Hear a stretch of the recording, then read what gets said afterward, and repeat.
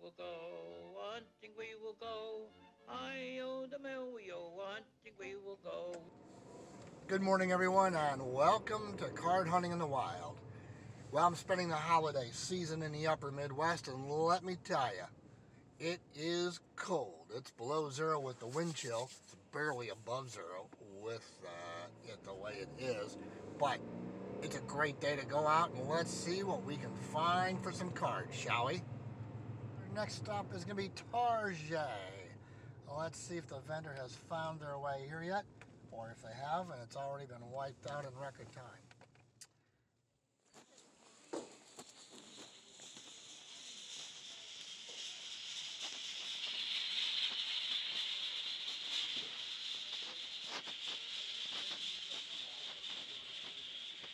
Looks like nothing. This week, yeah. The lone rustlers. That's it.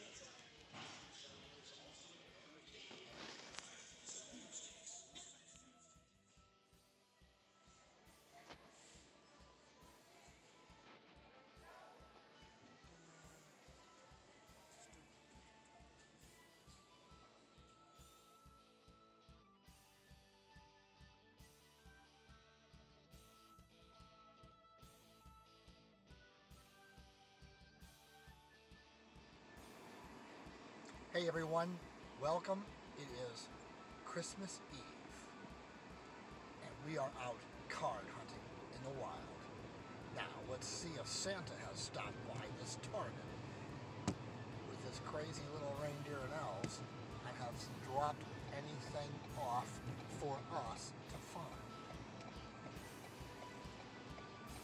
And I'm actually shocked that it is not busier here. I wasn't sure what so, let's get some parking. Let's find a spot to set this puppy down, the sleigh, and find our way inside and see if we can find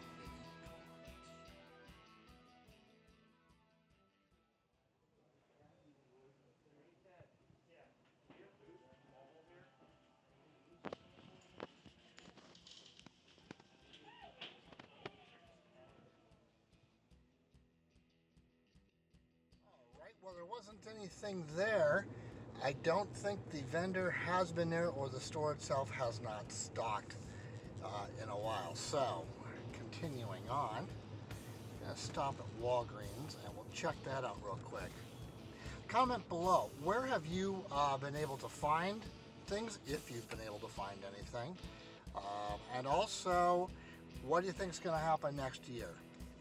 Because I personally believe Topps some of the other people are going to uh, get crazy and crank up the production runs and it should be interesting to see what happens uh, in that regard. So if you haven't already please subscribe to the channel hit that like button if you like the content and also comment.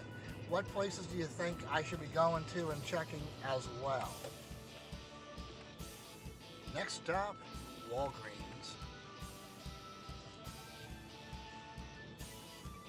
as we've seen the last week or so, we've been finding Topps update hanger boxes with the yellow parallels. So I'll be curious to see what's going on here and also to see if they have any of the Fairfield boxes again here. After some of the comments below that we've had in past videos, I'm almost tempted to pick up one of the football Fairfield boxes. So let's see what we find.